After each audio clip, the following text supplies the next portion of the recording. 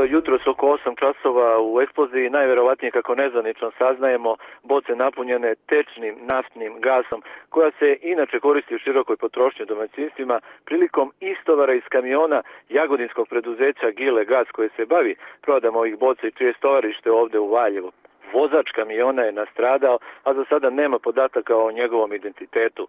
Lakše je povređen još jedan radnik na stovarištu koji je prilikom istovara bio prisutan.